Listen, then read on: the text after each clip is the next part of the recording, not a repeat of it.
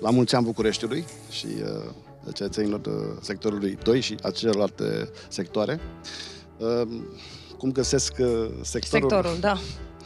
Uh, poate sunt subiectiv, dar uh, lucrurile merg din rău în mai rău uh, și pentru că uh, a fost discuția mai devreme și, uh, și pe de altă parte din cauza vremurilor și a vremii, uh, o să încep cu uh, subiectul acesta al, al termiei, pentru că noi în sectorul 2 suntem cei mai, uh, cei mai afectați. A spus domnul primar general despre acea decompensare a sistemului vechi, care avea șase ceturi și mai mult o să completeze, erau și niște fabrici care din procesul, de, uh, procesul tehnologic uh, aduceau agent termic în zona de nord. Acele fabrici s-au închis, cele două ceturi la fel, iar noi, cei din sectorul 2, parte din sectorul 1 și parte din sectorul 3, suntem cei care primim de cel mai departe agentul termic și, sigur, prin aceste uh, schimbări de rețea, rete- retehnologizări de centrale, lu- problema se va rezolva în vreo 20 și ceva de ani.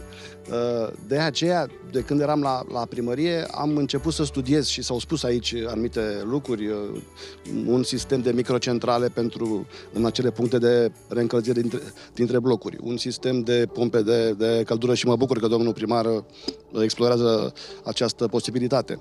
Avem în zona de nord sistemul de uh, lacuri, avem uh, uh, lacurile, apa care uh, hidroenergeticienii cu care m-am consultat mi-au spus că se poate genera uh, agent termic mai ușor din această apă, din aceste uh, lacuri.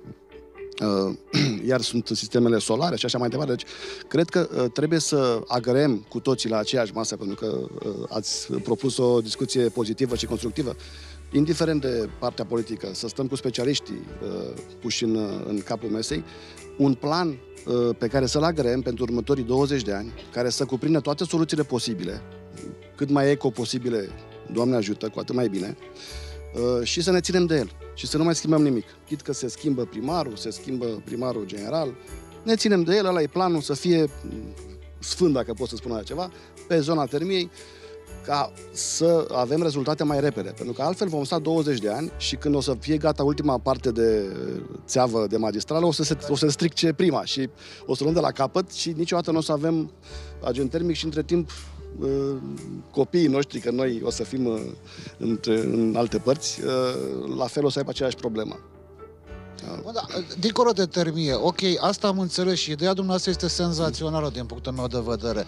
Uh, Dacă s-ar vota cumva o hotărâre de Consiliul General uh, întărită de bă, consiliile locale și, domnule, ne apucăm, dar să ne facem înțelegem, da? referendum ne dacă e apucăm și în cazul, să- 20 se- de ani să ajungem acolo, ar fi senzațional. Dar în rest, cum e sectorul 2? Eu mărturisesc că pe domnul Mihaiu l-am văzut de două ori la emisiuni în campanie electorală. Uh, și- L-am mai văzut odată Tu l-ai după mai văzut? accident, a ieșit și a zis că va face A, ceva ăla și mi se cu pare că fetița a făcut, dar pe asculta. o altă stradă. A Așa fost se- bampăre, dar pe altă stradă. Da, Știți pe altă povestea, stradă. nu? Știți povestea. În, în zona Andronache, da, da. în zona Andronache, uh, o mașină scăpată de sub control, mă rog... Hai uh, să ne întoarcem uh, la cele victime pozitive. Și, domnule, am pus bampăre de alea, dar pe altă stradă. Ok, dar cum e sectorul acela? Care e principala problemă a oamenilor? Că acolo, uh, eu am mai văzut pe Facebook la domnul Mihaiu și a zis că face, uh, face, face el... uh, uh, face el pasajul de la doamna Ghica. Îl cunoașteți? Să ridice mâna cine îl cunoaște. Îl cunoaște Bă, domnul cineva Mihaiu, personal? Eu l-am cunoscut în A, Uite, cadrul domnul Nicu Șordan dezbaterii. și cu Domnul domnul Nicu Șordan, Greblă. domnul Greblă. Și cu domnul Da, Melnic, da. da? Și- Atât.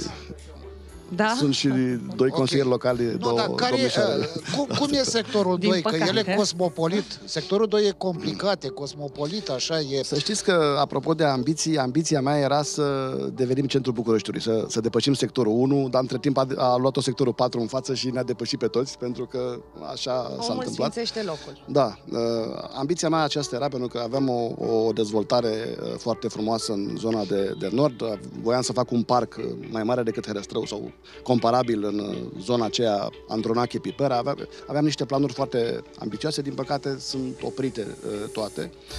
Uh, au luat locul lor uh, studii, consultanță, as- contracte de asistență juridică, miliarde cheltuite pe poze până la urmă, pentru că oamenii vor să vadă ceva concret.